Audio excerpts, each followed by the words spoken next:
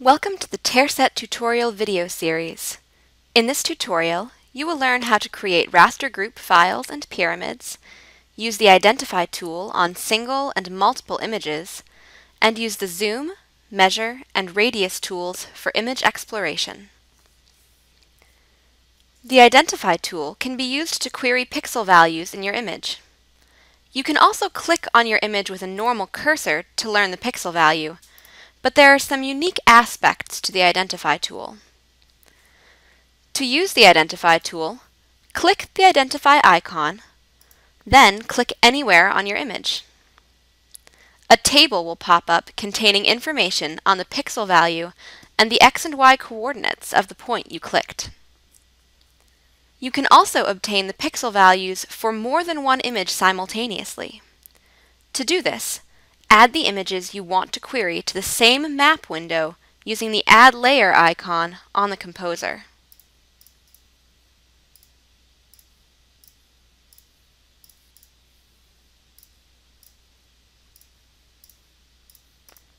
Then, click anywhere on your image with the Identify tool selected. Now the pixel values for all images in the map window are shown in the Identify table. An important skill when working in TerrSet is the ability to create raster group files. A raster group file is a collection of map layers stored under a single name. The use of a single name to refer to multiple files makes it easy to input many files into a module at the same time. To create a raster group file, highlight the files you wish to include in the TerrSet Explorer. You can use the Shift or Control keys to highlight multiple files. Then right-click on the highlighted names, go to Create, and select Raster Group. The new raster group can then be renamed by right-clicking on it and choosing Rename.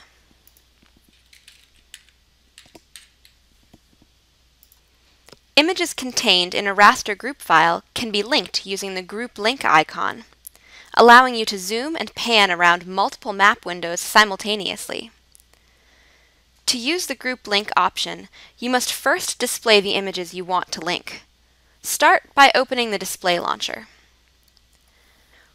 When you browse the pick list for your images, you'll notice that raster group files have a plus sign next to their name.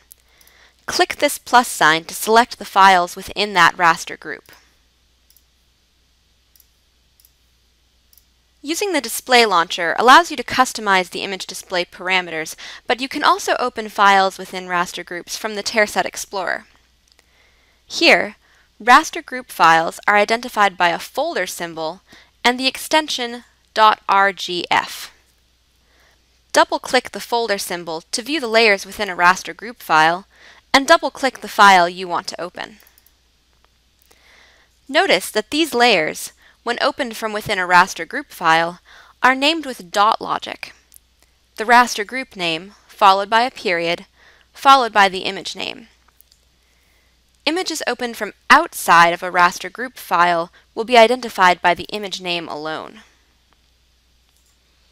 In order to use the Group Link tool, be sure that all your files have been opened from within the same raster group and have the dot logic file name. Once your images are open, simply click the group link icon to link the display windows.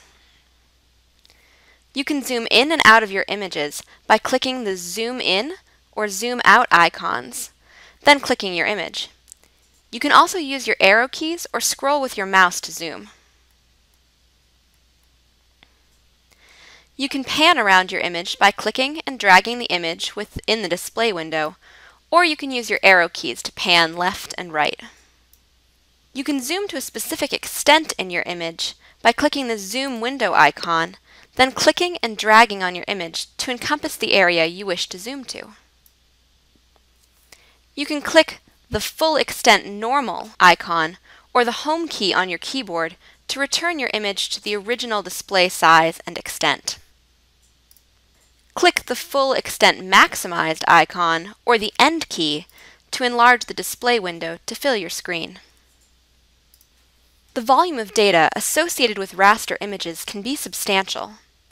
This can impact the speed of display, especially if your images have large numbers of rows and columns.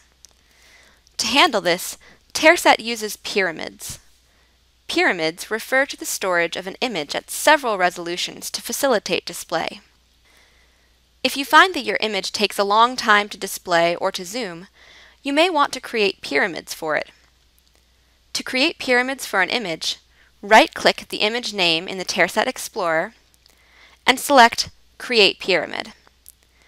You can create pyramids for all the layers contained within a raster group file by right-clicking the raster group file name and selecting Create Pyramid.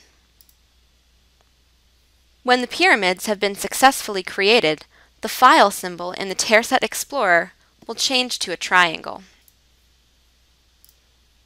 If you want to quickly and easily measure distances on your images, you can use the Measure Length and Measure Zone tools. Click the Measure Length icon, then click your starting point. The tool will measure a straight line distance between your starting point and the location of your cursor. If you click again, you can start a new line segment connected to the first line segment. If you want to start a new measurement altogether, right-click and your previous measurement will be erased. The Measure Zone tool works in a similar manner.